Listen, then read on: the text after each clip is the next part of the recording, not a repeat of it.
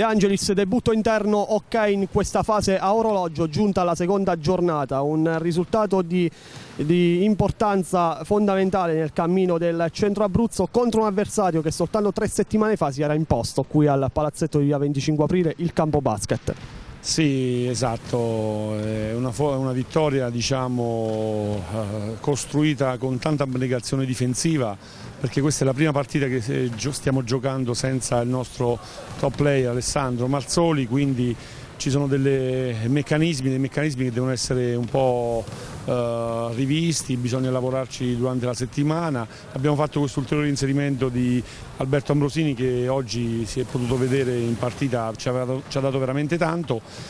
E niente, speriamo che questo è l'inizio di una nuova avventura perché Marzoli purtroppo per un po' di tempo non ci potrà dare una mano. Infortunio? Sì, è un infortunio casuale, diciamo così, avvenuto in partita, durante una partita un po' maschia a Termoli la settimana scorsa, pensavamo che fosse un po' di più lieve, invece alla fine si è rivelato più grave di quanto previsto e quindi niente, questo è anche il bello dello sport, dobbiamo trovare altre dinamiche, altri meccanismi e ci lavoreremo. I punti della fase a orologio si sommeranno a quelli conquistati nella fase regolare, quindi questa è una fase che costruirà la griglia playoff, una griglia nella quale voi volete posizionarvi nel migliore dei modi. Sì, sì, è fondamentale in questa fase orologio portare a casa i punti interni, nelle partite interne dobbiamo vincere, ne abbiamo tre e dobbiamo fare sei punti, due li abbiamo fatti, ne mancano altri quattro sostanzialmente. Dopo se ci scappasse qualche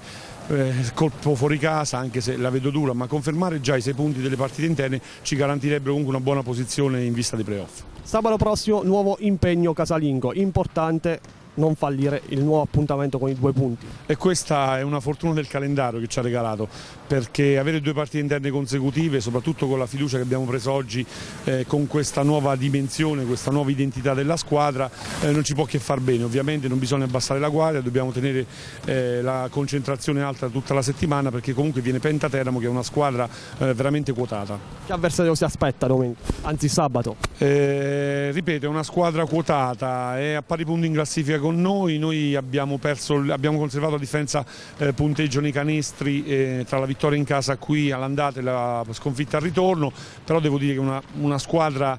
che se l'avessi incontrata magari con l'identità della mia squadra dall'inizio dell'anno sarei stato più fiducioso, adesso ecco, devo, dobbiamo lavorare, devo lavorare e dobbiamo avere tanta tanta pazienza. Non a parlare dei singoli, ma un giudizio vogliamo chiederlo ugualmente riguardo ai due nuovi innesti, Volpe e Ambrosini. Sì, diciamo che eh, Ambrosini, Alberto già aveva delle esperienze di categoria, quindi si è visto che in campo uh, sa muoversi abbastanza bene. L'altro è un ragazzo un po' più giovane che ha delle qualità, credetemi, veramente eh, elevate, deve soltanto rientrare entrare nei nostri meccanismi, quello è un po' la, la, parte più difficile, però credo che con il tempo, con la fiducia che mano a mano acquisirà, secondo me vedremo anche, eh, ne vedremo delle belle sotto questo profilo.